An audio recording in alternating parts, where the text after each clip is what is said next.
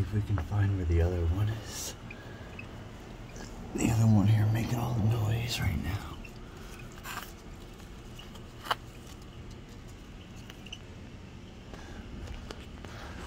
I hear someone out there making noise. Oh. Look at these guys. Now this is interesting because oh, there they go. I don't think I, I don't think I. I think one of those is a new adult. They look like two brown adults. I don't know. Where did they hop to? They both hopped away. Oh, there's another one.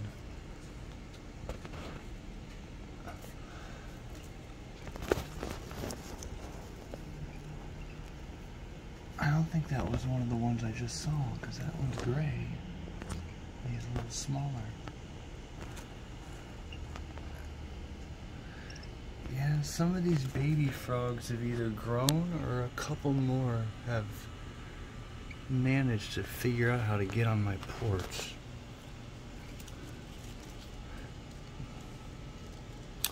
Oh, I saw one. I have so many plants, it's hard for me to, follow these guys. I don't really worry about it. I don't want to scare them too much. If they run away, it's probably because they want to get away. Oh well. Let's see if there's one in here real quick.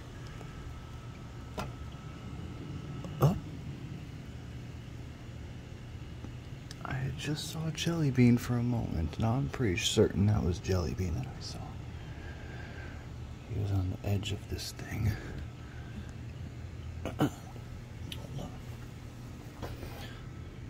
We can see Jelly Bean real quick. I think I saw where he went.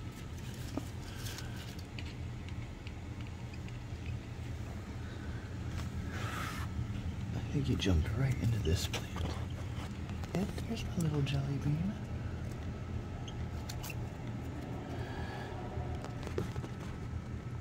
Yes, I believe that's definitely a jelly bean.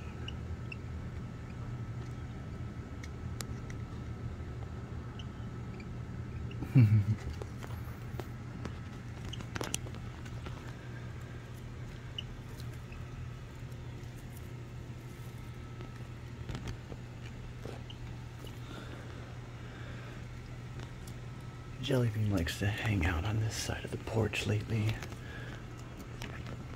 He's always hopping through this little route.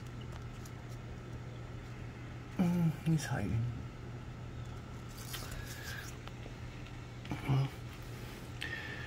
So wow, so we got the little striped frog in this plant.